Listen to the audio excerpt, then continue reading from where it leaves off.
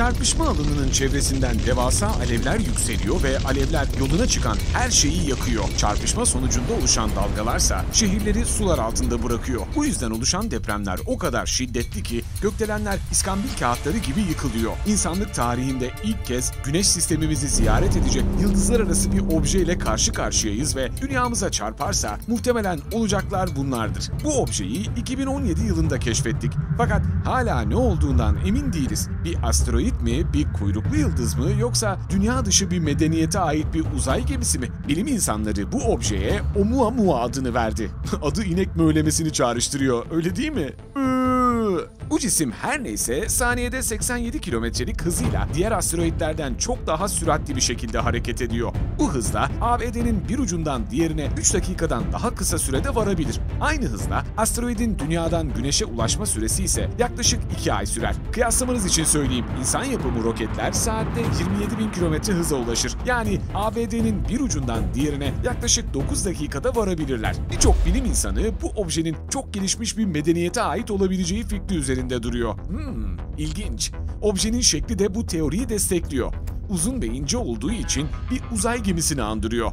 Boyu yaklaşık 800 metre olan cisim Eyfel Kulesi'nden neredeyse 3 kat daha uzun.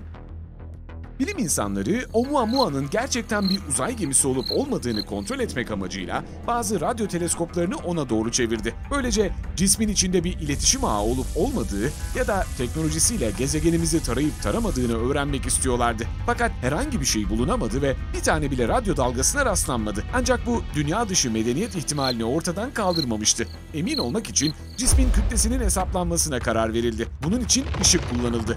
Daha doğrusu ışığın yansıması. Çünkü farklı maddeler ışığı farklı şekillerde yansıtır. Örneğin bilinmeyen siyah bir taşı ele alalım. Bu şey ışığın neredeyse tamamını emecek ve oldukça az miktarda yansıtma yapacaktır. Fakat verileri kontrol ettiğimizde bunun bir kömür olduğunu görebiliriz. Cismin boyutunu ve yapısını bulunca da kütlesini hesaplayabiliriz.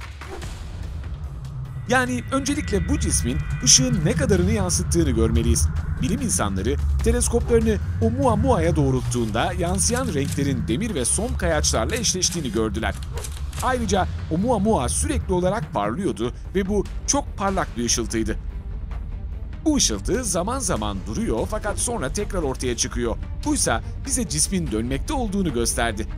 Üstelik standart bir dönüş rotası da yoktu. Kaotik bir şekilde dönüyordu. İnsan yapımı uzay gemileri böylesine şiddetli bir yüklenme sonucunda paramparça olurdu. Lakin Oumuamua hala tek parçaydı. Bu da bize yapısının dağılmasını önleyecek kadar sert maddelerden oluştuğunu gösterdi. Ayrıca içi bir uzay gemisindeki gibi boş değildi. Oumuamua yekpare bir cisim.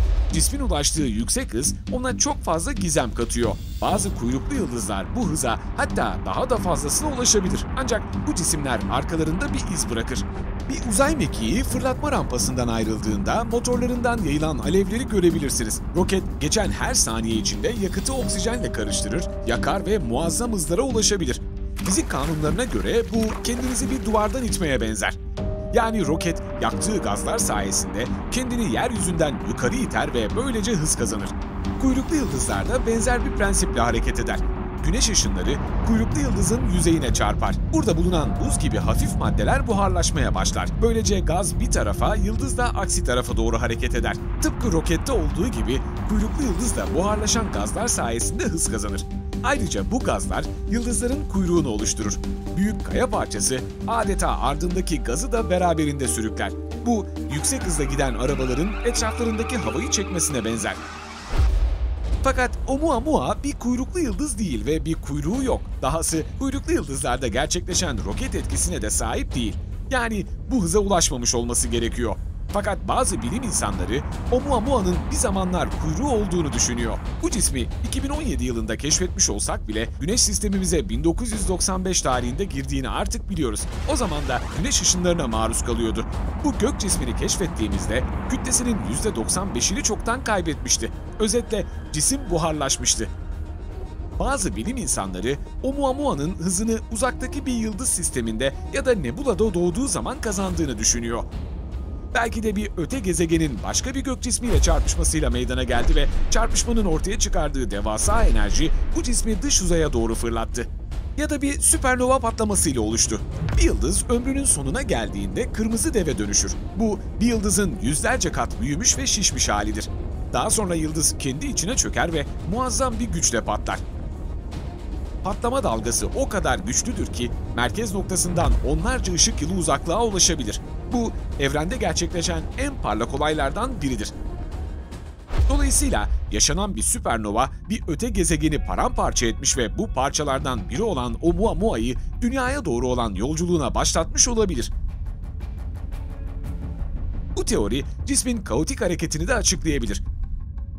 Fakat yakın geçmişte bilim insanları Oumuamua'nın dev bir buz kütlesi olduğu teorisini ortaya attılar. Bizim alışık olduğumuz buz su buzu yani H2O'dur. Fakat Oumuamua nitrojen buzundan oluşmuş olabilir. Bu senaryoda yıldızlar arası uzayda 500 milyon yıl boyunca tek parça halinde kalması mümkündür. Güneş sistemimize girdiğinde ise nitrojen buzu güneş ışınlarının üçte ikisini yansıtmıştır. Yani cisim çok fazla ısınmamıştır. Buysa Oumuamua'nın neden kuyruğu olmadığını açıklamaktadır.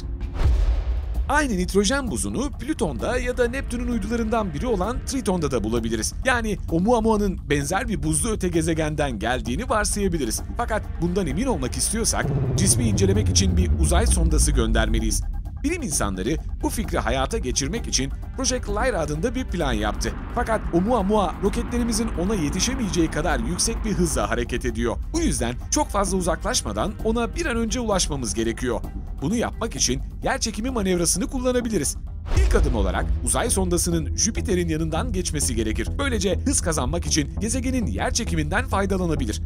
Akabinde sonda güneşe doğru ilerleyecek ve olabildiğince yakınından geçerek kendini bir mancınık gibi gök cismine fırlatacaktır. Gök cismine ulaşmanın diğer yoluysa mikrosondalar kullanmaktır. Bu senaryoda bine yakın mikrosondayı yörüngeye fırlatmamız gerekecek. Bu sondaların ağırlığı bir kibrit tanesinden fazla olmayacak. Bu sondaların boks ringi büyüklüğünde yelkenleri olacak. Ardından bu yelkenlere yeryüzünden güçlü bir lazer ışını gönderilecek. Böylece sondalar ışık hızının %20'sine ulaşacak kadar hızlanacak. Fakat asteroidi kaçırmamak için çok da hızlı olmamalılar. Çünkü cismin yörüngesine girebilmeleri ve üzerine iniş yapabilmeleri gerekecek. Çok yavaş olmaları durumundaysa Oumuamua'yı kaçırabilirler ve cisim güneş sistemimizden sonsuza dek ayrılabilir. Bu muhteşem bir deneyim olacak. Çünkü gelecekte bu tür gök cisimlerini uzay taksileri olarak kullanabiliriz. Yapmamız gereken tek şey ise bu tür yıldızlar arası bir gök cisminin yörüngesine girmek ya da üzerine iniş yapmak.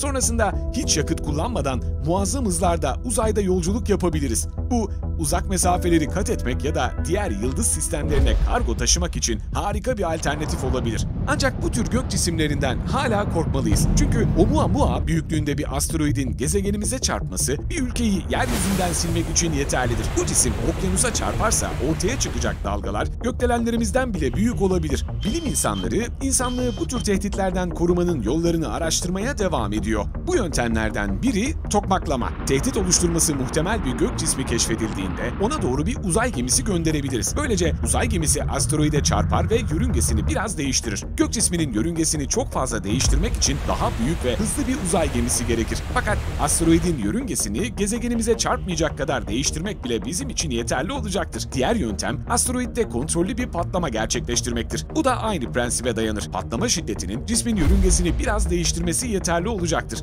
Son seçenek ise gök cismini tamamen paramparça etmektir. Çapı 24 metreye kadar olan asteroidler atmosferimize girdiklerinde sürtünme nedeniyle yanarak yok olur. 24 metre ve 0,8 kilometre arasındaki cisimler tamamen yanmaz ve bölgesel tahribata yol açabilir. 0,8 kilometreden daha büyük olan tüm cisimlerse tehlikeli kabul edilir. Hadi canım. En geleneksel bilim kurgu yöntemi bu tür asteroidlere roket takmaktır. Bu sayede asteroidin yörüngesini değiştirmekle kalmaz, aynı zamanda onu kontrol edebiliriz. Buysa onu diğer gök cisimlerine karşı kullanabilmemizi sağlar. Evet, aynı uzay bilardosu gibi.